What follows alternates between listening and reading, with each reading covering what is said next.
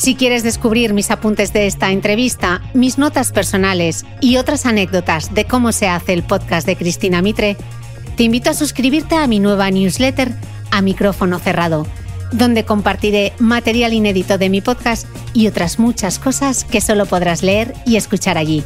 Suscríbete en www.cristinamitre.substack.com, repito, www.cristinamitre.substack.com y todos los domingos recibirás en tu email mi newsletter a micrófono cerrado. Te dejaré también link directo en las notas del podcast que como siempre comparto en mi blog www.debeautymail.es.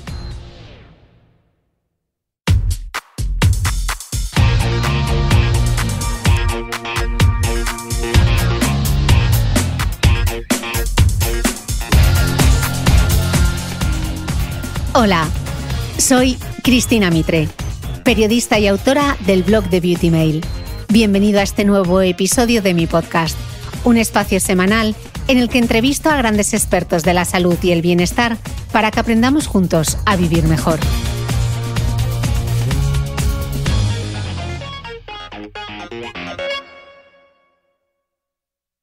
Las plataformas digitales son intermediarios que no están haciendo todo lo que podrían hacer, y por tanto cabe decir todo lo que deberían moralmente hacer, para eh, mitigar la diseminación indiscriminada de falsedades. ¿Por qué? Pues bueno, ellas sabrán, pero hay alguna explicación que parece bastante navaja de Ockham, ¿no? La, explicación más, más sencilla es porque les va muy bien en el negocio. Fijémonos en lo siguiente. Los medios de comunicación eh, los medios periodísticos tienen un principio esencial, y es que deben responder de la veracidad de la información que están transmitiendo. Esto no rige para las plataformas digitales. Para las plataformas digitales es bueno un contenido siempre y cuando se comparta mucho, con independencia de si es cierto o falso. Y tenemos, tú lo mencionabas hace un instante, la funesta circunstancia de que los contenidos falsos tienden a compartirse más que los verdaderos. Por lo tanto, uno, desde una perspectiva pues un poco cínica, o si queremos un término un poquito más moderado, pragmática, puede llegar a entender que algunos ejecutivos de plataformas digitales digan, oye, mira, sí, vamos a combatir la desinformación, pero no mucho. Porque al fin y al cabo es aquí donde nos estamos jugando las habas. Hace 2500 años en la antigua China, un general llamado Sun Tzu terminaba de escribir el manual de estrategia más famoso de todos los tiempos, El arte de la guerra, cuya idea principal es muy sencilla. Lo mejor siempre es vencer sin luchar. El general ya sabía entonces la mejor manera de lograrlo, con el engaño y la confusión del enemigo. En el siglo XX, en plena Guerra Fría, primero la Unión Soviética y luego Estados Unidos utilizaron constantemente la desinformación como un arma de guerra más contra el enemigo. Para ello, contaban con sus respectivos organismos oficiales, en los que imagino a un buen puñado de funcionarios grises maquinando y generando noticias falsas sin parar. La desinformación siempre ha estado entre nosotros, pero con la llegada de las nuevas tecnologías ha empezado a extenderse como los virus, como una pandemia de falsedades que no solo se diseminan en el campo político o económico, sino que infectan todos los ámbitos. La ciencia, los deportes, la salud, la cultura, incluso vemos campañas de desprestigio brutal contra alguna persona en concreto. Hoy, con el catedrático de periodismo Ramón Salaverría, auténtico experto en periodismo digital y desinformación, vamos a hablar de este tema poniendo el foco en nosotros mismos, porque al final somos los destinatarios de los engaños, los que seleccionamos qué nos creemos y qué compartimos en nuestras redes o grupos de WhatsApp. ¿Por qué y cómo nos engañan los creadores de informaciones falsas? ¿Qué podemos hacer para no ser víctimas ni cómplices de la desinformación? ¿Qué papel juegan los medios de comunicación en este panorama? ¿Deben responsabilizarse las plataformas digitales de lo que circula por ellas? prepárate, porque Salaverría nos va a hacer pensar y reflexionar como sus alumnos con las preguntas de los exámenes. Ramón Salaverría, desde los estudios de radio de la Facultad de Comunicación de la Universidad de Navarra, bienvenido al podcast. Un gusto. Ramón, decía la veterana periodista Rosa María Calaf en este podcast que el problema grave en este momento del periodismo y la información es que se están convirtiendo en otra cosa. Su objetivo de servicio se está perdiendo porque prima lo que impacta sobre lo que importa. ¿Qué papel tienen ahora el periodismo y los periodistas?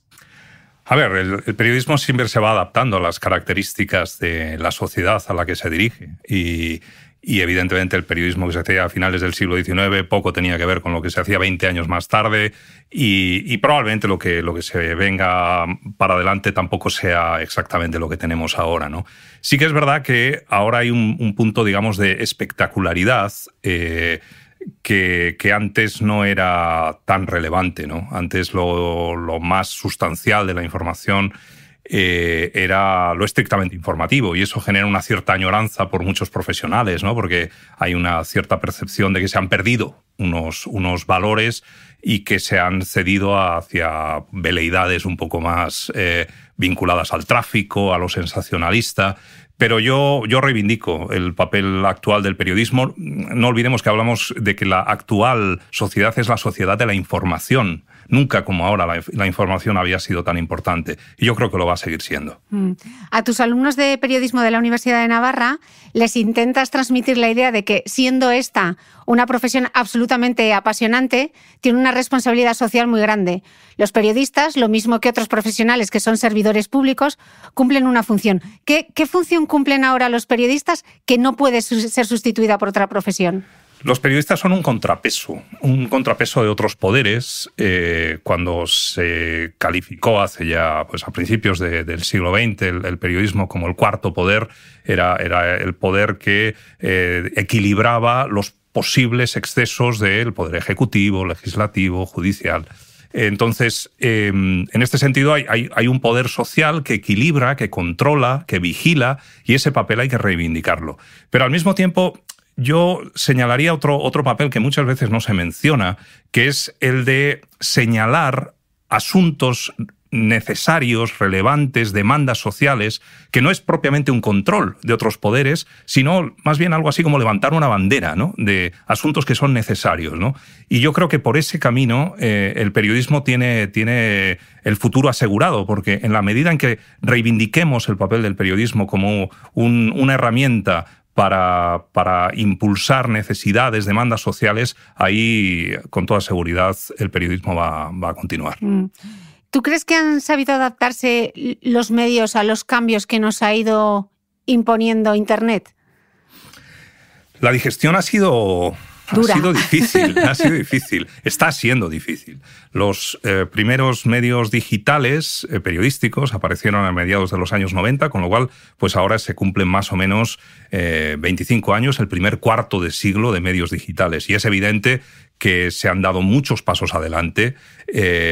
bueno, en términos estrictamente cuantitativos, ya, por ejemplo, en España, en el último EGM, la Internet por primera vez eh, tiene una audiencia mayor que la propia televisión, algo que hace pues apenas 15 o 20 años hubiera parecido sencillamente inconcebible. Eh, y en apenas un cuarto de siglo, es un tiempo que puede parecer mucho, pero en, términos del desarrollo de un medio, pues mm, es poco más que un suspiro, eh, pues ya lo ha conseguido, ¿no? Y entonces se ha consolidado, digamos, como un medio que tiene su audiencia. Ahora bien, es un medio que tiene su lenguaje, es un medio que tiene eh, sus eh, mecanismos profesionales, eh, sus rutinas de trabajo asentadas. Me parece que todavía no. Ahí estamos todavía explorando y, y, en ese sentido para mí ha sido un privilegio poder acompañar esta evolución desde el ámbito universitario porque he podido por una parte, observar esa transformación que ha sido muy profunda, pero al mismo tiempo eh, invitar a los, a los, jóvenes periodistas que se van sumando a la profesión a explorar, a innovar, a hacer sus propios desarrollos. Y, bueno, y en esa pelea estamos. Mm. Buscar información, seleccionarla, contrastarla, editarla y publicarla era y es el trabajo de los medios de comunicación, antes en exclusiva de ellos y ahora no necesariamente. ¿Este trabajo es entendido y valorado por el público? Pues, a ver, yo Suelo definirme a mí mismo como un optimista irredento. Y también es verdad que hay mucha gente que califica a los optimistas como un eh, pesimista mal informado. Entonces, yo eh, puedo reconocer que en muchas ocasiones, en los juicios que yo hago, eh, pues me ciega el optimismo. Pero prefiero ser optimista a no un cenizo. Y desde esa visión, debo decir que yo creo que el la sociedad, los ciudadanos, efectivamente valoran el trabajo de los periodistas. Hay un cierto desapego en los últimos tiempos porque, porque hay una, una tendencia a la bandería excesiva por parte de, de muchos medios de comunicación que están cayendo pues, en, unos sesgos ideológicos excesivos, perdiendo, desde mi punto de vista al menos, un poco el foco de, su contribución social eh, principal. También hemos mencionado antes pues, esa tendencia a la sensacionalización, al clickbaiting, a todo este tipo de fenómenos que de alguna manera pues, eh, difuminan el, papel relevante de los medios de comunicación. Pero yo, yo, yo estoy convencido de que, de que los ciudadanos valoran lo que, lo que reciben de los periodistas, necesitan información de calidad. La pandemia ha sido un ejemplo absolutamente palmario de esto y, desde ese punto de vista me parece que la profesión periodística tiene, tiene un recorrido muy, muy potente por delante. Vosotros, de hecho, habéis estudiado cómo ha sido toda la comunicación durante la pandemia, ¿no? Hicisteis un informe, si no recuerdo mal, con Ignacio López Goñi, que participó también, que ha estado en este podcast y volverá. ¿Qué conclusiones sacasteis de ese estudio? Sí, en concreto estudiamos los fenómenos de desinformación, los bulos, ¿no? las mentiras que circulan eh, yo me resisto a utilizar la expresión fake news. Luego te preguntaré, sí. Bueno, pues entonces hablamos si quieres, pero, pero me parece una etiqueta muy desafortunada por muchos motivos. Eh, pero es verdad que mentiras, eh, bulos, circulan y mucho, no solamente por los medios de comunicación, también por los medios de comunicación, a veces. y, y, lo que analizamos fue precisamente, por una parte, la morfología de esas falsedades, o sea, cuál es la forma que adopta una mentira particularmente en las redes digitales. Y en segundo lugar, cuáles son los mecanismos de diseminación. Así como hemos estudiado o han estudiado los científicos eh, del ámbito de la microbiología cómo se inoculan los eh, virus, eh, pues nosotros hemos estudiado desde nuestro ámbito cómo se inoculan las falsedades. Y también hay unos procesos que son hasta cierto punto parecidos, ¿no? porque, porque hay mecanismos de diseminación, de contaminación, de contagio eh, que recuerdan en algunos aspectos a lo que, a lo que ocurre con, la pandemia de COVID-19. ¿Y cómo son esos mecanismos? Bueno, pues, eh, como, pues como digo, bastante parecidos. Eh, por ejemplo, para que se me entienda claramente, en el caso de la pandemia, uno siempre tiende a pensar que la mayor amenaza está en la gente que uno se cruza, pero con la que no tiene una, una vida en común habitual. En cambio, automáticamente baja la guardia en cuanto está con, su mujer, con su marido, con su padre, con su hijo, con su abuelo, porque piensa que esas personas, ¿cómo van a ser esas las personas que, que nos contagien? Bueno, pues con la desinformación ocurre algo parecido. Eh, hemos desarrollado un recelo mayor para las fuentes habituales de información, en el sentido de lo que hablábamos antes, de que hay una desconfianza creciente, por ejemplo, en los medios de comunicación, que tradicionalmente eran las fuentes de la información, y en cambio nos creemos a pies juntillas lo que nos diga nuestra madre, nuestro hijo, la vecina del quinto. Eh, porque es una persona a la que conocemos y a la que nos une una confianza. ¿Y cómo esa persona nos va a mentir? Eso no puede ser. Claro, lo que perdemos de vista en muchas ocasiones es, oye, ¿y, cómo esa persona está realmente enterada de aquello que está diciendo? Obviamente no tiene la, intención de mentirte, de engañarte, pero tiene el conocimiento adecuado como para saber, eh, digamos, a fondo sobre lo que está hablando. Y en muchas ocasiones por ejemplo, en el caso de una pandemia, es evidente que no dispone de esa información. Y automáticamente pues, pues empieza a creer lo que desearía creer y comparte con otros lo que eh, su visión del mundo y todo este tipo de cosas degeneran en procesos bastante, bastante lamentables, la verdad. Pero no solo eso, nuestros propios sesgos, ¿no? También, ¿cuánto tienen que ver en todo eso? Los sesgos cognitivos que se mezclan con los algoritmos que al final solo te muestran aquella información que confirma tu propio sesgo. Tenemos ahí un, eh, la tormenta perfecta, ¿no? Es verdad. Los estudios sobre la desinformación hasta ahora eh, se han centrado eh, de manera preferente en los creadores de los engaños, o sea, identificar quiénes son los que, los que crean los bulos y luego también en el papel de los intermediarios, donde están, por ejemplo, los medios de comunicación, pero también están las redes sociales, están eh, las eh, eh, plataformas de mensajería instantánea, en fin, distintos tipos de intermediarios tecnológicos. ¿no? En cambio, se ha estudiado relativamente poco esos aspectos psicológicos, subjetivos, que facilitan que nos contagiemos del engaño. ¿no? Y ahora mismo, pero cuando digo ahora mismo, es, hay una ola de estudios que están poniendo el foco precisamente en ese tipo de factores de carácter subjetivo y que nos están enseñando, nos están revelando un fenómeno del que probablemente no nos queríamos dar cuenta, y es que en gran medida los mayores responsables de que seamos engañados somos nosotros mismos. Eh, porque queremos ser engañados, porque buscamos la información que coincide con nuestros eh, marcos mentales, porque queremos eh, creer aquello que nos conviene. y claro, si actuamos de esa manera, la facilidad de que alguien que desea engañarnos realmente lo consiga es muy grande. Mm. ¿Cuánto tiene que decir aquí la neurociencia? Muchísimo, muchísimo. Mm, mm. mencionabas antes la suspicacia que generan los medios de comunicación, pero ¿cómo puede ocurrir también que una información generada eh, por la Organización Mundial de la Salud, transmitida por la organización directamente o a través de los medios de comunicación, sea valorada como igual de fiable que un vídeo de YouTube o un mensaje de WhatsApp. No estamos hablando ya de los medios, estamos hablando cuánta gente ha puesto en entredicho lo que decía la Organización Mundial de la Salud hay mucha gente que tiende a desconfiar por defecto de aquello que venga de una fuente institucional. Eh, hay un, tipo de sesgo que, tiene ese planteamiento. Y en cambio, eh, piensa que es más eh, inteligente o, más, o conoce más que el resto de la gente y por tanto busca verdades alternativas. Automáticamente aquello que suena como a marginal lo identifica como real, porque todos los demás sois unos borregos. Claro, menos yo, menos yo que soy la persona que sabe perfectamente lo que está ocurriendo. Y entonces afirma sin ningún tipo de evidencia que en no sé qué laboratorio de Wuhan si tú no sabías ni que existiera esa ciudad, Wuhan. No, pues yo te digo que... ¿Cómo puedes afirmar eso? Pero si no tienes ninguna evidencia propia, ningún tipo de contacto eh, eh, real que te permita afirmar semejante cosa. Ya, pero es que encaja con mi visión del mundo. Y como yo sé que están produciéndose todo tipo de manejos eh, que intentan un poco colarnos de esta manera, eso encaja dentro de mi marco mental, por lo tanto, es verdad.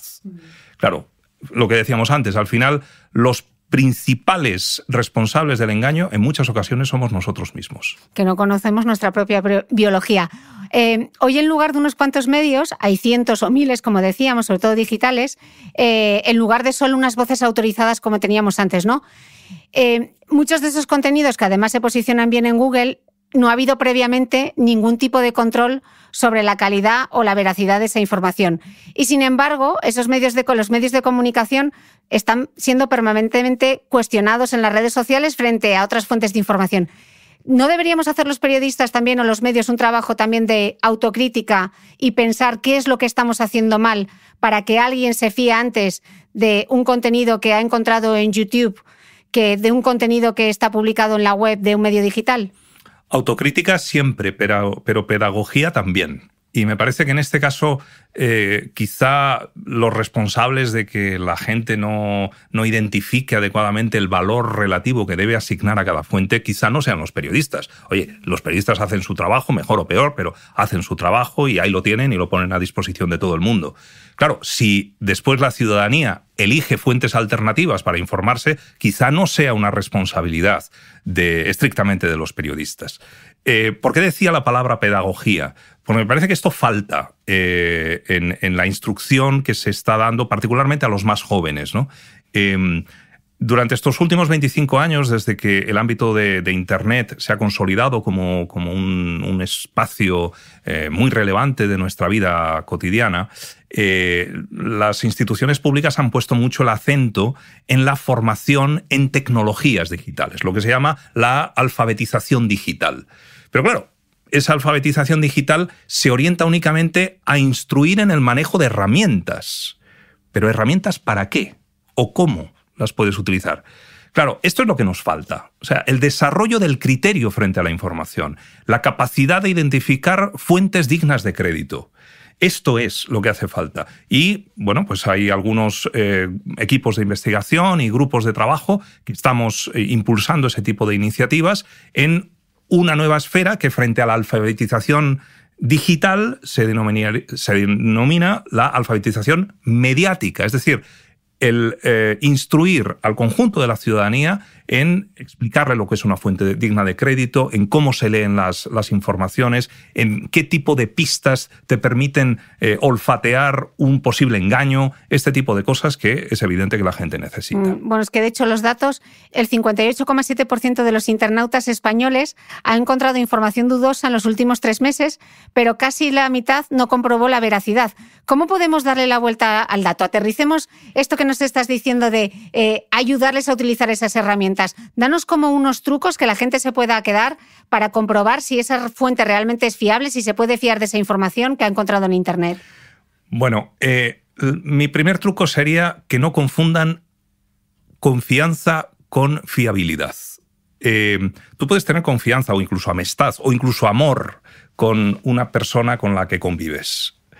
Eh, pero eso no la convierte automáticamente en una fuente informativa fiable tener confianza, tener cariño, tener un vínculo emocional con alguien, eh, no convierte a esa persona en una persona digna de crédito en lo que se refiere a la información. Entonces, mi recomendación en ese sentido es que eh, cuando la gente reciba pues, un mensaje, el típico mensaje a través de un grupo familiar de WhatsApp donde alertan sobre no sé qué eh, asunto que está ocurriendo en la ciudad. Ojo, no paséis por esta calle porque a tal hora circula un hombre que han visto. Bueno, eh, cuidado, ese tipo de información, ¿quién te la ha comunicado? ¿De dónde sale? ¿Ha habido algún tipo de fuente policial, de seguridad que haya hecho semejante alerta? ¿O esto es simplemente una especie de radio macuto que está circulando por ahí y que simplemente, pues probablemente atiende a un bulo que desea generar alarma social? Los bulos, lo que llamamos desinformación, en muchas ocasiones circulan de esta manera. Mm. Me gustó mucho un ejemplo de pregunta de examen que habías puesto a tus alumnos de periodismo de las de hacer de pensar. La publicaste en Twitter. Era un caso basado precisamente en un tuit real, con una foto de un tren accidentado y este texto. No sé si la foto es real, pero ha descarrilado un tren AVE o Albia en Santiago de Compostela. Tiene mala pinta y la pregunta del examen era, ¿qué harías tú como periodista si vieras esto en una red social? ¿Cómo comprobarías la información?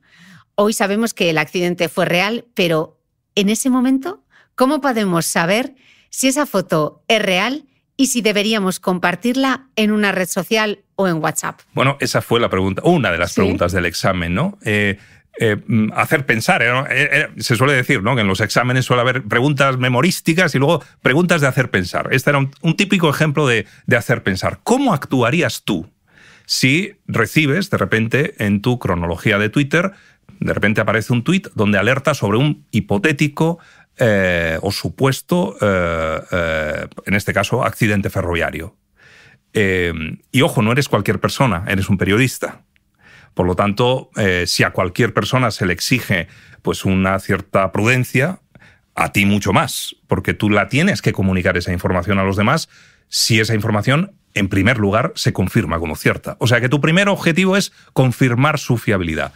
¿Cómo se hace? Y entonces, claro, los, alumnos tuvieron que hacer todo el proceso, ¿no? Pues primero tendré que llamar a, pues a Renfe o a, o DIF eh, para que me confirme si efectivamente existe alguna alerta sobre esto. Si no recibo noticias, tendré que llamar a los servicios de seguridad del lugar donde está eh, ubicada esa, esa, imagen. Luego puedo utilizar, por ejemplo, eh, sistemas de fotografía de satélite para confirmar si la imagen que se ve coincide con alguno de los tramos de vías de Santiago Compostela. Y si de repente estoy allí, de repente yo puedo utilizar, por ejemplo, Google Street View para poder ver cuáles son eh, los comercios de esa zona y de repente levantar un teléfono y decir, oiga usted, sé que usted tiene una, eh, yo qué sé, una peluquería a 200 metros de este puente donde parece que acaba de haber un accidente, usted me podría confirmar. Y claro, si en ese momento hablas con un peluquero de la ciudad de Santiago de Compostela que te confirme, oye, tenemos aquí un lío de la pera, acabas de hacer tu trabajo periodístico. ¿Y un usuario de Internet? Y un usuario de Internet, evidentemente, no puede eh, hacer todo ese tipo de protocolos, ¿no? Pero sí que puede tomarse algunas eh, seguridades. Por ejemplo, eh, en, el ámbito de Twitter están los perfiles verificados, los perfiles que tienen un número significativo de seguidores, eh, pero también están los, perfiles paródicos, los perfiles que habitualmente caen en mensajes de discurso del odio, de, pues en fin, eh, que buscan un poco denigrar al adversario, sea quien sea este. Claro, yo en ese tipo de perfiles, si de repente me encuentro esta, esta eh, noticia o esta, o esta alerta, llamémoslo así, yo automáticamente la tomo en consideración, pero no la doy como cierta. Necesito confirmar en alguna fuente oficial o digna de crédito antes de hacer circular esa información. Por más que esto nos haya alertado, porque claro, si esto nos ha alertado y lo eh, diseminamos entre los demás, podemos estar generando una alarma que quizá, quién sabe, puede ser algo que precisamente el generador de un bulo es lo que desea. Mm. ¿no? Entonces, debemos tratar de actuar con una cierta cautela en mm. ese sentido. Como dice mi amiga boticaria, si tengo un bulo, no lo rulo. Pues mira, es una buena frase, la verdad que está bien.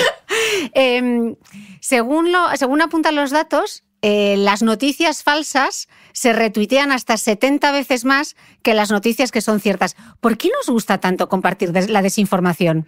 A ver, la, desinformación antes hablaba de que dentro de los estudios que hemos hecho hemos analizado la morfología de los bulos, ¿no? Y, una de las, eh, de las, características de los engaños es que eh, tienden a incitar las pasiones. Em, de alguna manera, las emociones, las pasiones, más allá de lo puramente, digamos, intelectual o racional. Eh, claro, ese tipo de de mensajes, de contenidos que tienden un poco a, excitarnos eh, emocionalmente, porque nos, nos soliviantan, porque nos enfadan, porque habitualmente son emociones de tipo negativo, de hecho, ¿no? Eh, pues eh, generan muy rápidamente mucha gente una respuesta impulsiva una respuesta impulsiva que es no hay derecho, o una respuesta impulsiva fijaros lo que hay que hacer, eh, o muy bien, sigue por aquí. Claro, y automáticamente uno no se da cuenta de lo que está haciendo es exactamente igual que si se quitara la mascarilla eh, en una sala de cine. Está diseminando el virus por ahí, ¿no? Y, y, bueno, este tipo de comportamientos pues hay que tratar de mitigarlos en la medida de lo posible.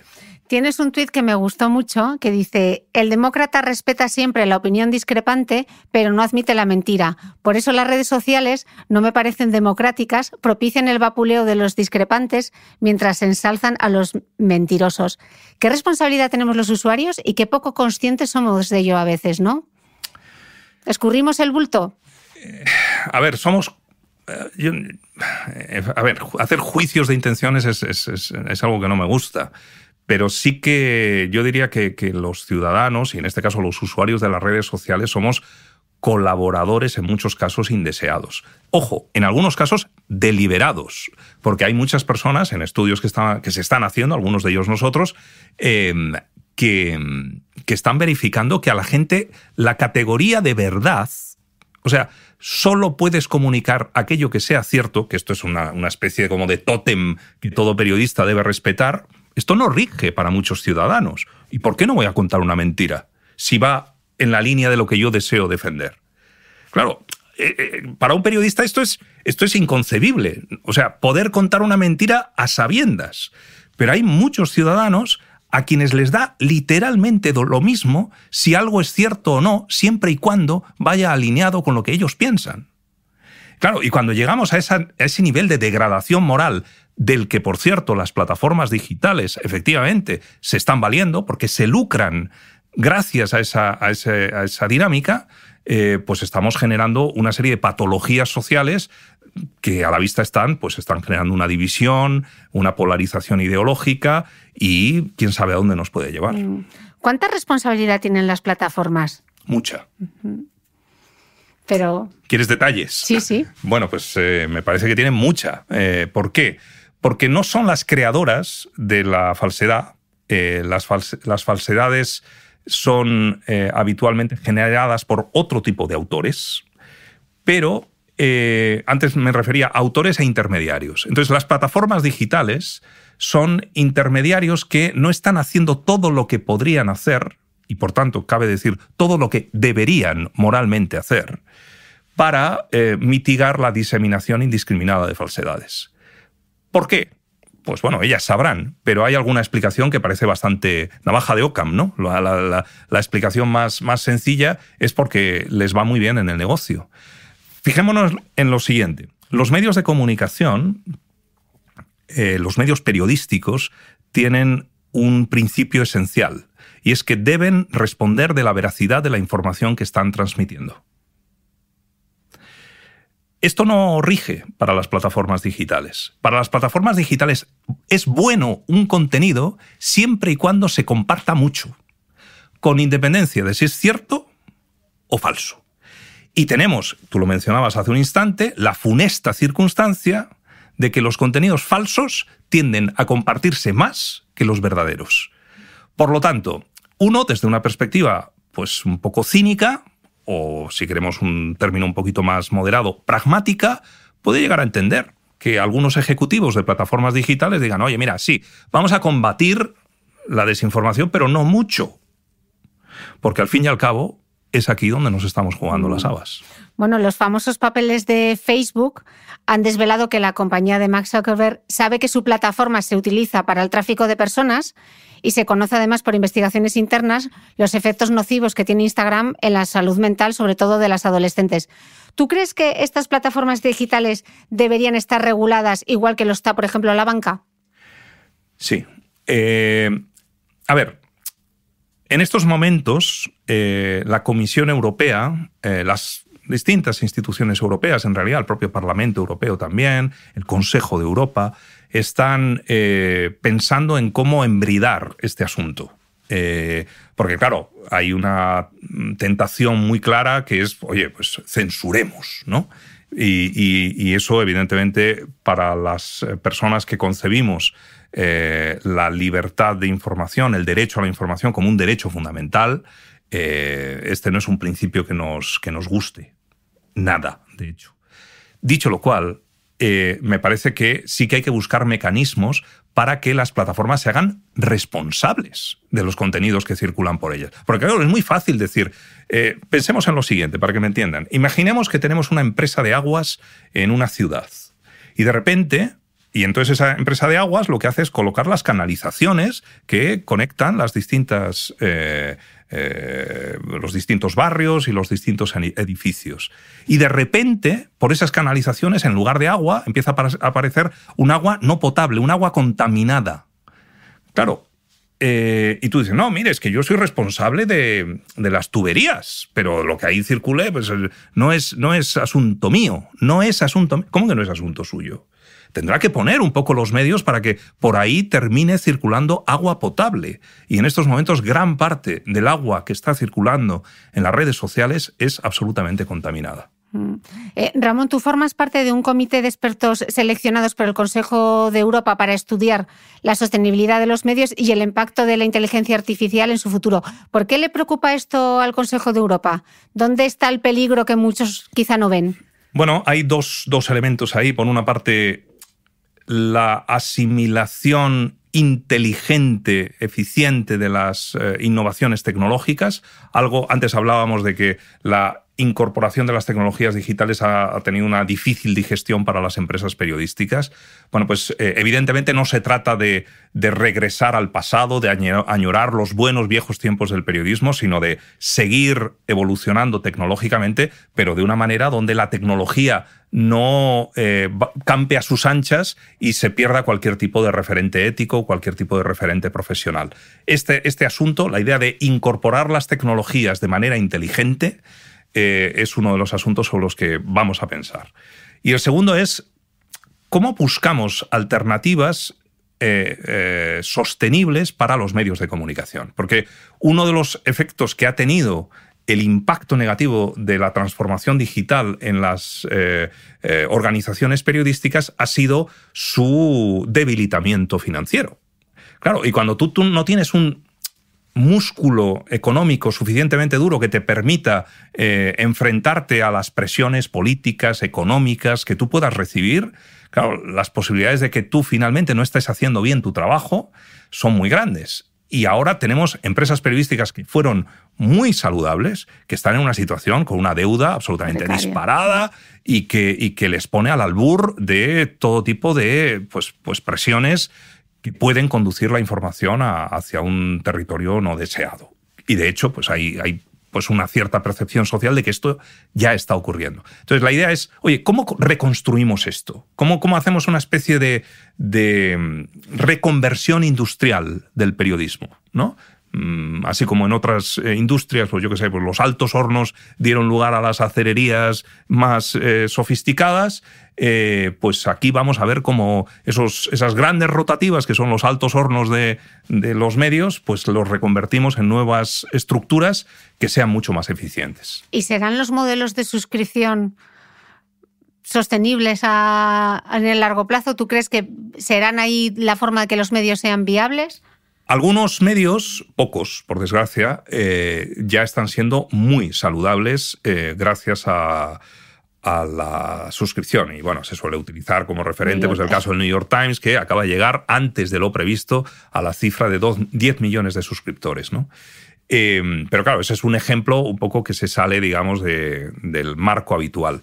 En el caso de España, por ejemplo, en otro proyecto de investigación reciente nuestro, hemos visto que a mediados del año 2021, eh, a mediados del año pasado, eh, si eh, agregáramos todas las suscripciones a todos los medios digitales de España, tendríamos más o menos 400.000 suscripciones de pago, lo cual equivale más o menos al 1% de la población adulta de España. Uno de cada 100 adultos de España eh, es eh, suscriptor de contenidos de pago. Y eso ni siquiera es verdad porque algunos son suscriptores de varios medios al mismo tiempo. O sea que una persona pues es dos o tres veces suscriptora. ¿no? Pero bueno, dejémoslo así uno de cada 100 eh, ciudadanos son suscriptores. Uno se pregunta, ¿con eso se puede sostener una industria eh, a través de la suscripción? Pues parece demasiado poco todavía. Pero se está abriendo un camino y yo tengo bueno, esperanzas de que, de que se va a consolidar eso, entre otras cosas, porque a través de los modelos de pago se empieza a revertir esa lógica tan nefasta de buscar el tráfico por el tráfico. Eh, y en cambio lo que se busca es contenidos que generen una vinculación estable por parte del, público, eh, un, gusto por seguir leyendo, un interés, ¿no? Y eso con los contenidos eh, sensacionalistas, clickbaits, pues realmente no se suele conseguir. Mm. ¿Tú crees que en España preocupa la desinformación, desinformación o hay a quien le conviene que estemos desinformados? Yo creo que, preocupa. Eh, eh, en el estudio del Digital News Report, que es un estudio eh, coordinado desde hace ya ocho años por la Universidad de Oxford y que analiza el consumo de contenidos digitales en todo el mundo, en la edición del año 2021 analizó 46 países, uno de los cuales era España. Bueno, pues curiosamente, de esos, ojo, 46 países, que no son pocos, el país donde se identificaba una mayor preocupación por la eh, desinformación, en concreto la atribuida a los políticos en este caso era España. Y ojo que hay países de los cinco continentes en ese estudio. Por lo tanto, yo diría que España, frente a otros países, la ciudadanía española tiene un grado de sensibilidad mayor a la desinformación. No sé si a pesar de todo es mucho o poco, mm. pero, pero desde luego mayor que en otros países. Mm. Eh, un estudio realizado sobre la aceptación de las vacunas concluyó que la generación Z Em, se mostraba mucho más a favor de las vacunas contra la COVID y, manejaba información más veraz sobre el tema que sus propios padres. En general, no nativos digitales, que eran mucho más vulnerables a la desinformación, a las fake news, que ya sé que no te gusta este término, y, a las, y a las teorías antivacunas. ¿Podríamos pensar entonces que los nativos digitales están mucho más preparados para seleccionar las fuentes de la información que los adultos? ¿Que sus padres? O... En parte sí, pero solo en parte. En parte. Voy a tratar de Elabora. Sí, sí, eh, sí, vamos a ver. Eh, estamos con múltiples estudios en este terreno y uno de los estudios, quizá me estoy anticipando porque todavía no ha sido publicado siquiera, lo estamos literalmente terminando estos días y pretendemos publicarlo en una buena revista internacional, eh, hemos encontrado un, un asunto interesante. Y es que existe una, una cierta percepción generacional de autoconfianza. Es decir, los jóvenes tienden a desconfiar de la capacidad de los adultos, de los mayores, de identificar la desinformación y viceversa. Es decir, los mayores también tienden a minusvalorar la capacidad de los jóvenes de poder identificar cuando una información es cierta. Luego, por, eso decía que en parte, o sea, hay, una mutua desconfianza entre jóvenes y mayores. Es, como si existiera una brecha generacional en relación con la desinformación. Dicho lo cual, es verdad que habitualmente los jóvenes tienen unas destrezas digitales más avanzadas. Pero también es verdad, ojo, que los jóvenes tienen un desconocimiento de las fuentes dignas de crédito que en cambio sus padres y sus abuelos tienen. Por lo tanto, eh, yo no caería en este tipo de afirmaciones categóricas en las cuales se dice, no, es que los mayores los engañan como chinos o los jóvenes no se enteran de la misa a la media. Eh, habría que matizar un poquito. Mm. Hemos estado hablando de bulos de desinformación, fake news, que no te gusta el término, pero yo creo que deberíamos definirlos bien para saber qué estamos hablando cuando decimos desinformación, cuando decimos bulo, y explícanos por qué no te gusta fake news, que no nos lo has explicado. Bueno, la desinformación, en la medida en que tiene un prefijo negativo por delante, es lo contrario de la información y ya entendemos que la información es aquello que va asociado a la veracidad. Por lo tanto, la desinformación es algo que no tiene veracidad y además que tiene una intención de engañar. No es simplemente un error. Es, el error sería, digamos, un mensaje que pretende ser correcto, que por alguna circunstancia no lo es, pero no hay propósito de engaño. En cambio, la desinformación tiene ese propósito de engaño inherente. Eh, hay alguien que quiere engañar. Y los bulos son la expresión, digamos, popular de la desinformación. Sería como, como la desinformación sin corbata, ¿no? O sea, es, eh, cuando hablamos de que circulan los bulos, pues básicamente hablamos de lo mismo. ¿Por qué no me gusta eh, la expresión fake news? Eh, bueno, en primer lugar, porque, porque, mm, en fin, podríamos hablar de noticias falsas y probablemente nos entendería todo el mundo. Yo suelo decir que es mucho más importante que te entiendan en Huesca que en Wisconsin. y parece que estamos aquí preocupados porque nos entiendan en Wisconsin y lo que termina ocurriendo es que en Huesca no te entienden. Eh, entonces, fake news eh, o noticias falsas. Claro, si ahora reparamos en el concepto, nos damos cuenta de que ya automáticamente hay como una especie de atribución de responsabilidad. Porque, ojo, lo falso son las noticias. ¿Solo? ¿Acaso no hay otro tipo de mensajes que también tengan intención de engañar y que tengan una visibilidad pública? Claro, a mí me da la sensación de que, por ejemplo, los políticos están muy cómodos con el concepto fake news, porque automáticamente estás eh, transmitiendo la responsabilidad de la desinformación que está circulando a los medios de comunicación. Y no olvidemos que el principal responsable de que esa expresión se haya hecho pública o se haya hecho tan popular ha sido el anterior presidente de Estados Unidos, un político. Entonces, yo particularmente abogo por, desterrar ese término por cuestiones de respeto al idioma y por cuestiones de eh, justicia y precisión léxica. Mm. Comenzaba el podcast recordando unas palabras de Rosa María Calaf y casi que lo voy a despedir recordando otra cosa que dijo en este podcast. Y ella comentaba que el problema es que nos creemos que estamos informados y lo que estamos es muy entretenidos.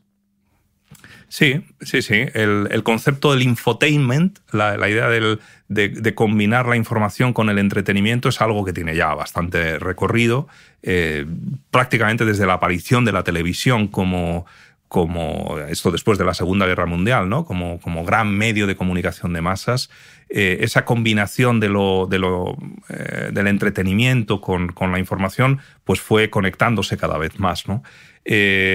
El problema ahora es que estamos sacrificando la información eh, en el altar de la, información, eh, la, información en el altar del entretenimiento. ¿no? Y, y bueno, pues eh, en fin, eh, cada uno hará un poco sus valoraciones, pero a veces uno, particularmente en la televisión, por ejemplo, ¿no? pues ve ciertos informativos y si un informativo dura 30 o 40 minutos, eh, pues ciertos informativos, información estrictamente hablando, pues puede tener 5 o 10 minutos y a partir de ahí es una colección de, de, de, no sé, de, escenas, de situaciones, de, cosas absolutamente irrelevantes cuya única eh, particularidad o, motivo por el cual han sido seleccionados es su espectacularidad y su capacidad de entretenernos un rato. ¿no? Yo particularmente soy un poco, pero bueno, entiendo que, es muy sesgo personal, como todo el mundo, y, ahí estoy. Como estamos en una facultad de comunicación, yo he invitado a que venga al podcast una estudiante de cuarto periodismo, Lucía. Entonces yo me voy a salir del micro, le voy a ceder mi espacio a Lucía, porque le voy a invitar a que te haga la pregunta que cierre este podcast y a que despida el podcast. Así que, Lucía, yo me voy a levantar, micrófono todo tuyo y vas a cerrar el podcast. Venga, todo para ti. Bueno, Lucía la he tenido, la he tenido durante, durante un tiempo en, clase, con lo cual, bueno, pues eh, me temo cualquier cosa. Así que, Lucía, adelante, soy todo tuyo. El micro es todo tuyo. Yo la verdad es que esto no me lo esperaba. Em, pues no sé, así como no me lo esperaba, no sé muy bien qué, pregunta hacerte, pero sí que es verdad que estaba escuchando con muchísimo interés eh, lo que comentábamos sobre, bueno, lo que comentabais sobre la, cómo se puede regular eh, todo el tema de los bulos en Internet y todo eso. Y yo quería preguntarte, a mí me dijo hace poco un periodista que le cabreaba, y utilicé la expresión cabrearle, que mm, eso, que un periódico tuviera que responder por todos los medios, por la eh, información que publica, y sin embargo una persona pudiera tener un perfil anónimo en Twitter y difamar, mentir y hacer lo que le diera la gana. Entonces, ¿cómo se puede hacer? ¿Cómo se puede hacer para regular que las redes sociales, Twitter, Facebook, eh, Instagram, filtre un poco quién publica qué y cómo? Antes he dicho que no me gusta mucho el planteamiento censor o, controlador en exceso, ¿no? Eh, yo, bueno, como periodista me parece que abogo por, o debo abogar por la libertad de información.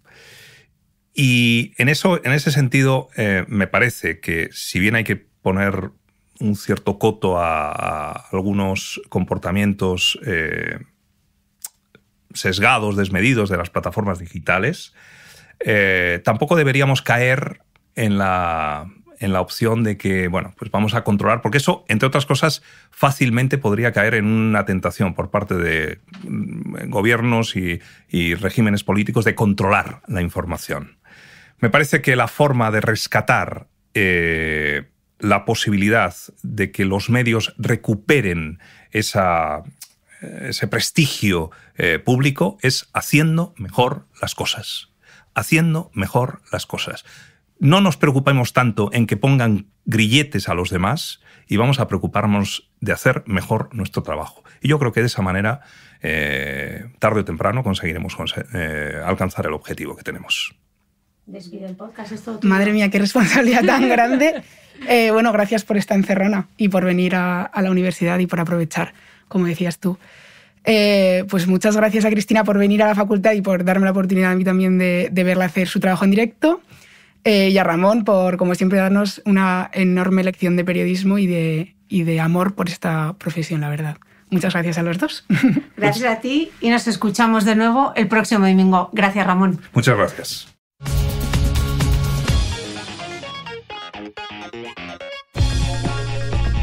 No olvides que todas las notas de este capítulo están en mi blog de beautymail.es. Además, si no quieres perderte ninguna entrevista, suscríbete a el podcast de Cristina Mitre en tu reproductor de podcast habitual. Y un último favor, si me escuchas en Apple Podcast o en Spotify, regálame una reseña, porque así ayudas a que este podcast siga creciendo.